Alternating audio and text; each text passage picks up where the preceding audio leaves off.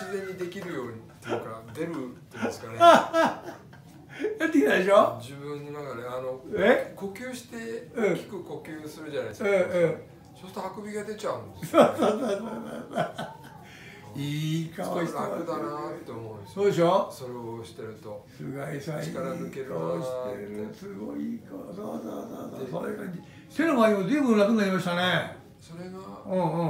こう伝えられるっていうんですかね、うんこうん。う楽になるそことをう。そだからこう普通に大きく呼吸すると楽になりますよっていうかゆるゆっくりになるっていうか緩むというか、ううんうんうんそれをこう言える、で自分があくびが出ちゃうじゃないそうでしょうんもう完完全全に本当にそのあくびをするとわーってただ呼吸を大きくうん吐いてるだけなのにわーってあくびが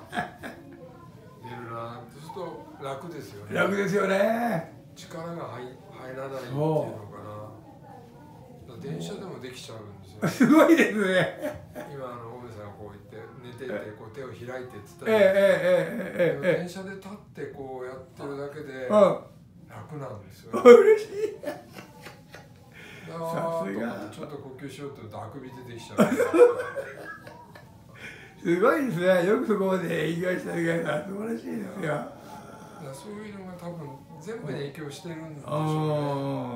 あなんか仕事にも素そう晴だし。らしいですそうそうね思いますそれは。ああ最高ですね。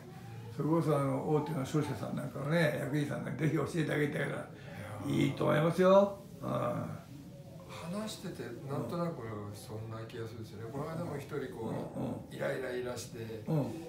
まああれはどのぐらいだろうな主任ぐらいの人なんですけど要は会社からするとちょっと困ってるやつなんだよねって いう人をこうコーチしてるんですうんようん。その人がやっぱ会った時に、うん。まあ、たまたま僕前の人の名前を言った時に「キッ」っていう顔をしたんですよ。間違えちゃって言ったんですうよん。その時「え？っ?」ていう顔をした時にうん。すごいこうイライラっとしてる顔を感じたんですうんよね。おまあけど普通に喋っていきながらうん。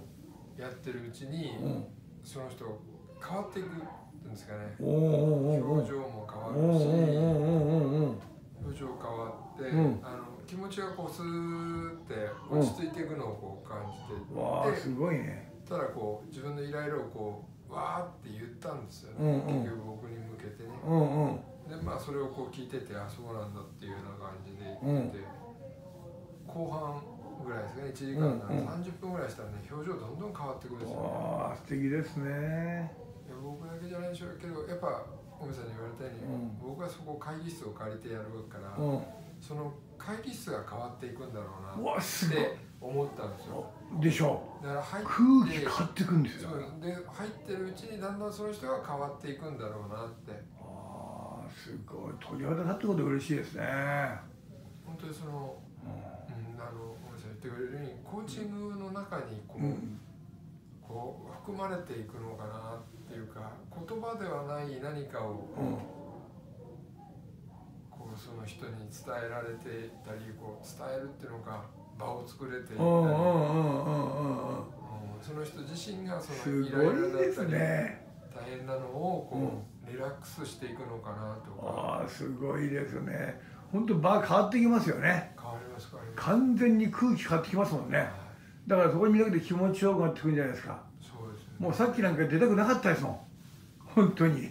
そのぐらい気持ち。いいそう教わってできているのかなっていうできてんですよ。思うんよね。だって目覚めたら寒いじゃないですか。うん。普通逆ですよね。眠ってるのが寒いですよ。すごい進歩ですよ。不思議に感じるんですよ。いい顔してますよだけど